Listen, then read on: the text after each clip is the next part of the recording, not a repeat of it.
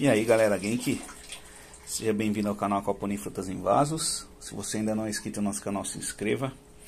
É de graça e ajuda nosso canal a continuar crescendo. Olha que surpresa que eu tive aqui. Voltei do ranchinho. Vim ver como é que estavam nossas plantas aqui em cima, que aliás está todo mundo seco. Olha como é que tá. Foi regado isso aqui ontem. Está muito sol, solzão tá rachando mesmo. E aí eu tive essa grata surpresa na flor aqui do aguapé. Olha que coisa mais linda que é. Isso indica que ela tá gostando do ambiente em que ela que ela tá. Tá vendo? Muito top mesmo. Aproveitar que a água parou, mostrar também a qualidade da nossa água. Olha aí. Dá pra ver lá no fundo, ó. Que agora tá com reflexo. Deixa eu ver se eu consigo dar um, uma sombrinha aqui. Pra vocês verem. Olha lá. Tá vendo? Nossos lambaris passando por aqui. A água tá bem limpa mesmo. E filtragem feita por nossa cama de cultivo ali e também pelos nossos aguapés que estão aqui no nosso é, decantador e também no nosso SAMP. Então foi uma, uma ideia nova que nós começamos aqui esse ano e eu gostei bastante porque as raízes do aguapé, tá vendo? Olha aqui as raízes aqui, elas ajudam bastante na filtragem da água, formando aí um filtro biológico muito bacana. Tem mais uma flor aqui, ó, para abrir, tá vendo? Aqui, ó. E tem mais uma aqui também, ó. Muito top. Eu não coloquei aqui porque de tempos em tempos ela acaba soltando a algumas folhas vão vão ficando apodrecidas e vão caindo. Então, eu deixei só aqui. Não coloquei no nosso tanque principal. Mas vai ser uma coisa que a gente vai fazer no futuro. Trazer um pouco mais. Quero ver se eu trago bastante desse aguapé aqui para colocar no lago do Ranchinho. Se você ainda não assistiu o nosso vídeo anterior do Ranchinho, dá uma olhada lá. Tem novidades, tem colheita. Te convido aí a dar, dar uma visitada no nosso canal e assistir. Separei uma bomba, essa aqui é a mais forte que eu tenho, 2500 litros hora eu vou levar ela lá pro ranchinho para a gente dar uma melhorada no sistema de filtragem do nosso lago. Se a gente consegue dar uma melhorada na qualidade da água. Apesar que os parâmetros estão tá muito bom. Ela esverdeou mesmo por conta do sol, forma aquelas algas verdes.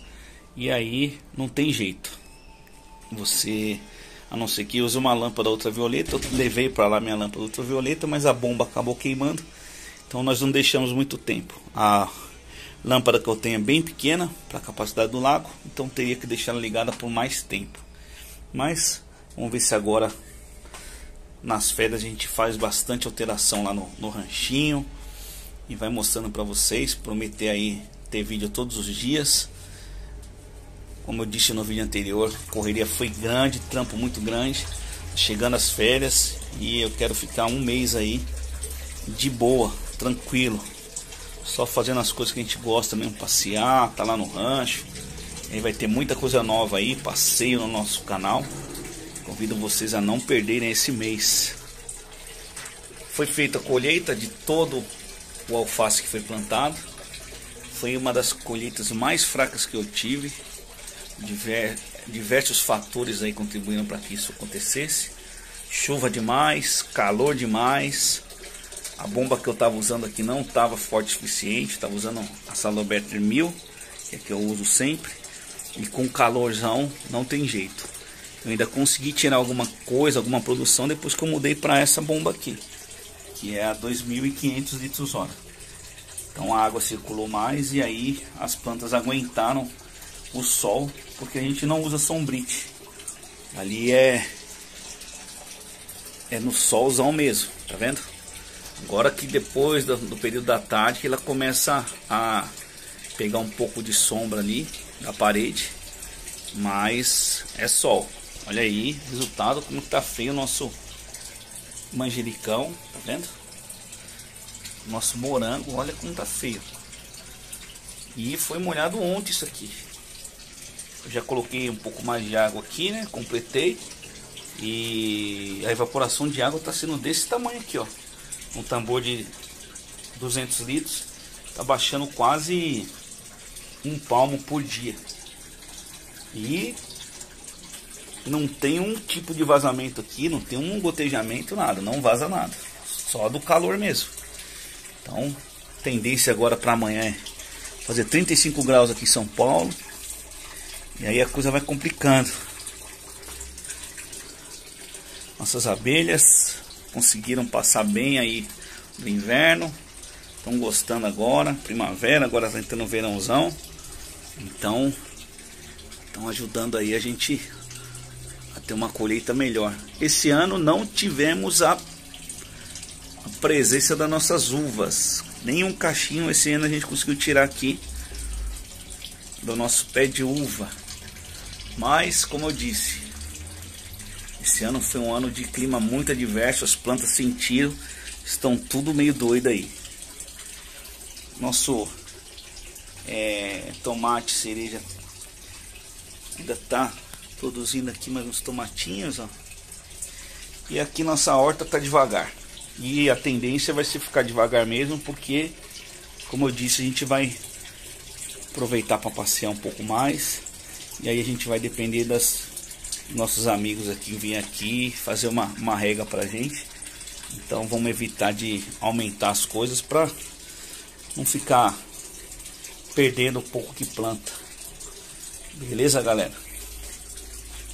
Esse ano aqui eu não plantei machixe em casa, somente lá no rancho.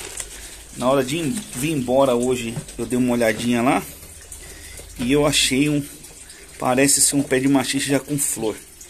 Então, assim que eu voltar lá, eu vou filmar para vocês verem como é que tá nosso machixe. Peguei aqui uma raçãozinha. para nossos peixinhos. Aí, ó. Que coisa mais chique, hein, pessoal? Nesse ano não peguei alevino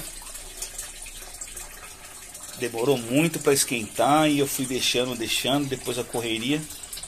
Então vamos ver se lá pro final das férias a gente pega um pouco de, de peixe de tilápia traz para cá. Talvez eu nem vou trazer alevino, talvez eu já traga eles já maiores para trazer para essa caixa aqui e aí voltar de novo a plantar nosso sistema aquapônico. Também teve esse porém também que não deu uma produção muito grande, porque a geração de de sujeira aqui dos peixes é pequena, uma vez que a gente está com quantidade pequena de peixes aqui, estar em torno de uns 40 lambaris aqui. Então não produz muita sujeira e é a sujeira que alimenta as raízes das nossas verduras da sistema de aquaponia. Também nós temos lambaris, ó. Aqui também nós temos Olha lá. Estão comendo. Então, calorzão é a hora certa de você estar tá criando seus peixes aí na caixa d'água, porque se alimentam bem, não ficam doentes, é top. Graças a Deus o sistema está rodando muito bem aqui, nosso sistema de aquaponia. Eu não tive mais uma perda de peixe, graças a Deus. Então isso é muito importante. É com o tempo é, aprendendo com tentativas, com erros e o sistema ficando maduro também. Vai sendo criado bactérias que vão ajudar a fazer a quebra da, do nitrato e do, e do nitrito, né? Então, com isso a amônia vai sendo dispersada aí do nosso sistema e a amônia é tóxica para os nossos peixes, né? Então, as plantas ajudam pegando essa substância que é ruim para os peixes, quebrando as moléculas e devolvendo água limpa para o nosso sistema. É um sistema que aproveita a própria água, recirculação. Então a gente só repõe a água que, que é perdida com evaporação. É um consórcio, criação de peixes em caixa d'água, juntamente com verduras. A gente aqui utiliza a alface e da qualidade crespa, mas tem muita gente aí que planta cebolinha, que planta morango, tudo isso no sistema aquapônico. A gente aqui como é apaixonado por alface e o resultado melhor que nós tivemos aqui na nossa região de São Paulo foi com alface crespa. Então a gente estamos continuando no time que está ganhando. Vamos lá.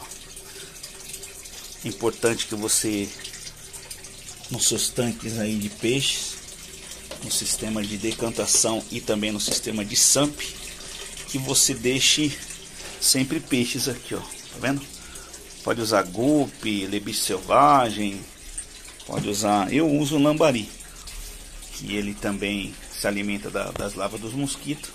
Então evita aí a proliferação de larvas, principalmente aí que é prejudicial para o homem, que é o da dengue. Beleza? Então essa é a dica aí. Sempre deixa um peixinho aqui, ó. Tá vendo? Outra coisa é importante que com aquela quantidade que a gente tinha ali de alface, mais de 100 pés de alface, eu não precisei fazer uma limpeza nesse sistema de decantação.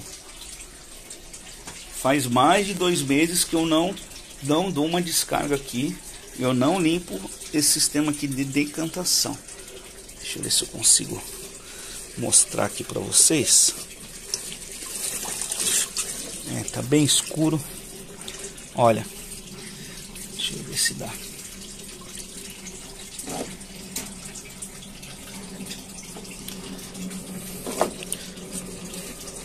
Não sei se vai ser possível que vocês visualizem, mas a água tá bem limpa mesmo. Olha a qualidade que tá essa água aqui, ó. Dá pra ver os canos ali, ó. Mas o reflexo está muito forte. Acho que eu não vou conseguir mostrar para vocês. É uma pena. Então, galera, é e devido principalmente à filtragem que está acontecendo com o nosso aguapé. Eu vou tirar essas folhinhas que estão apodrecendo, ó, tá vendo? A tira aqui, ó. Ó, é matéria orgânica, a gente joga pra cá. Tá vendo?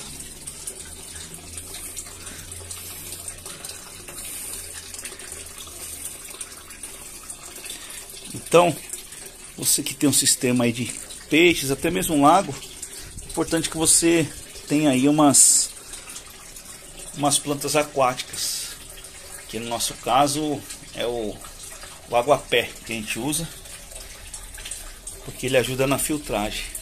Além disso, a gente usa também a lentilha d'água e o alface d'água.